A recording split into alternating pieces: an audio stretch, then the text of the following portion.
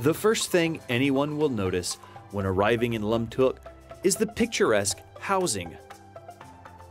While most rural villages in Vietnam have attempted to rapidly modernize, this has unfortunately left them in a state of poverty according to modern standards, yet without the character of their original traditions.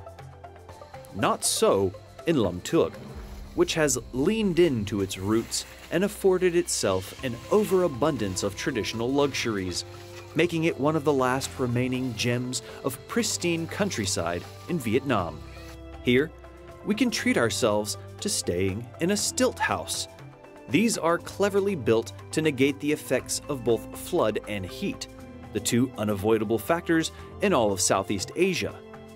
Not only does the stilt house keep the residents dry by lifting them off the ground during the rain, but it captures higher wind currents, which circulate under the thatched roof and keep the house temperate